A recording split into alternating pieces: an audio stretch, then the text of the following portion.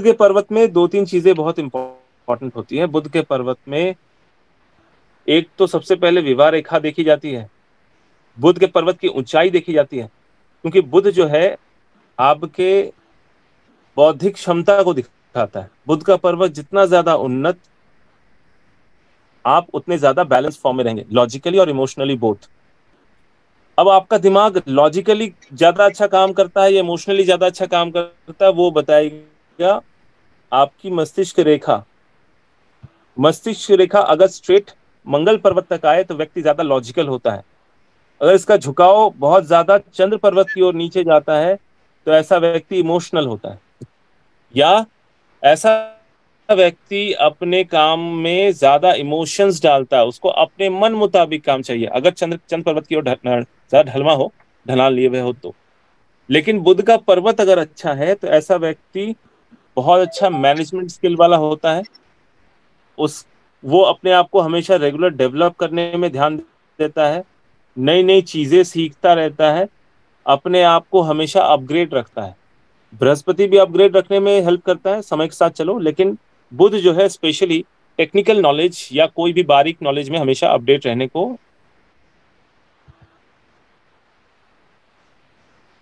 अब आते हैं एक्सटर्नल मंगल, बाहर, रक्षात्मक मंगल। रक्षात्मक मंगल क्या देता है? रक्षात्मक मंगल से हम देखते हैं व्यक्ति की पर्सनैलिटी अगर आप सर ये जो बुद्ध का आपने बताया है इसका ढलान अगर चंद्र पर्वत की तरफ़ हो तो क्या होता है सर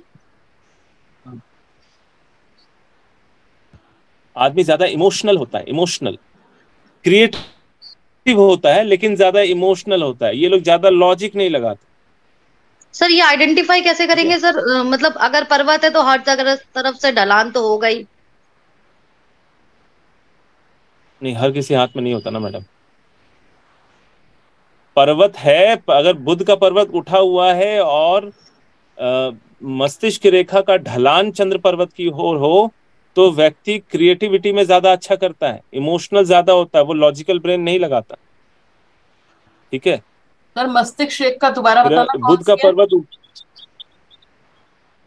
मस्तिष्क रेखा का झुकाव चंद्र पर्वत की ओर आ जाए इधर से ऐसे। तो ऐसा व्यक्ति क्रिएटिव होता है इमोशनल होता है। उनका लॉजिकल ब्रेन नहीं चलता। ठीक है? लेकिन वही जब रेखा, मस्तिष्क रेखा बिल्कुल सीधी हो, यानी यहाँ मंगल पर्वत से निकल सॉरी बृहस्पति पंगल पर्वत या मंगल पर्वत से स्ट्रेट जाके बाहर एक्सटर्नल मंगल में ही खत्म हो रहा है तो ऐसा व्यक्ति बहुत स्ट्रेट फॉरवर्ड होता है। नो इमोशंस एकदम मुँह पे पॉइंट पे पॉइंट पे बात करने वाला व्यक्ति।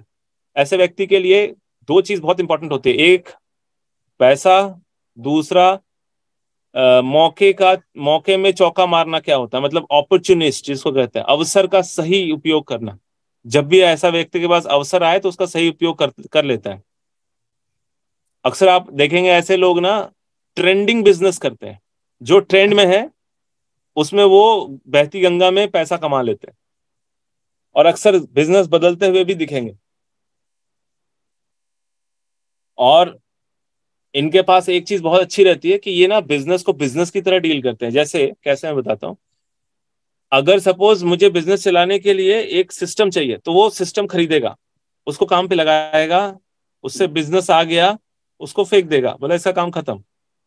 लेकिन जो इमोशनल इंसान होगा ना, उस सिस्टम को और अच्छे से रखेगा। नॉर्मली सबको अपना घर में अच्छे से साफ़ सफ़ाई करके रखते हैं। भाई, मेरा सिस्टम अच्छा होना चाहिए, काम होता है इसमें। और कुछ खराब हो जाए ना तो जल्दी से उसको रिपेयर करेगा। ये नहीं देखेगा कि सात साल इसने मेरे को सर्विस दिया। इसका पैसा तो वसूल है।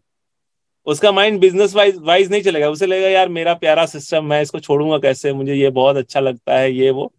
वो जल्दी उसको बेचेगा भी नहीं। पुराना सिस्टम रखेगा अपने पास। तो ऐसे लोग जिनका, जिनकी मस्तिष्क का ढलान ज़्यादा चंद्रमा पर्वत की ओर जाए और बुद्ध की, बुद्ध का पर्वत भी उठा हुआ रहे तो ऐसे लोग किसी भी घर के अपने चीज़ों से अटैचमेंट बना लेते हैं इमोशनल अटैचमेंट ठीक है?